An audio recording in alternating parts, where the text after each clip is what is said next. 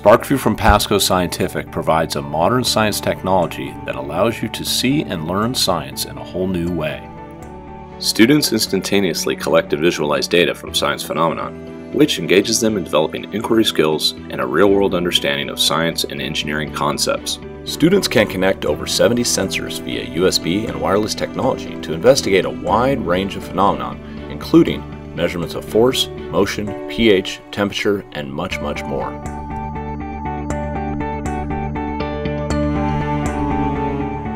SPARKvue also enables data collection through onboard sensors available in many modern computing devices. Students can quickly visualize measurements in a variety of displays, including graphs, digits, tables, and analog meters.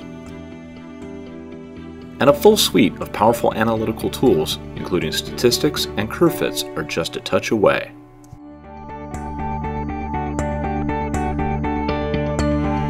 Students can also use a wide variety of templates to build custom pages that include student entered data, sensor measurements, and live images captured from built-in cameras. Teachers can also create their own customized science experiments complete with a variety of assessments.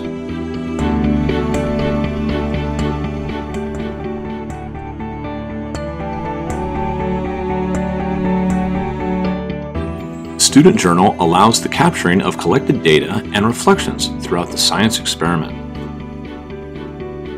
This journal can be used as a lab report and easily submitted via popular online services such as Google Drive and Dropbox.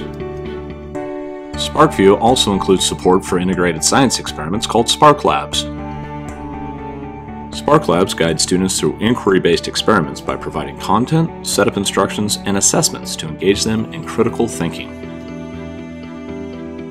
Pasco offers a wide variety of curriculum-based SPARKlabs covering all grade levels and science subjects. Regardless of the mix of technology in your school system, SPARKvue provides the same user experience on Windows, Mac, iPad, Android tablets, and Chromebooks, simplifying classroom management so the focus is on learning. SPARKvue currently supports 25 languages and has been adopted by schools around the world for the advancement of science education.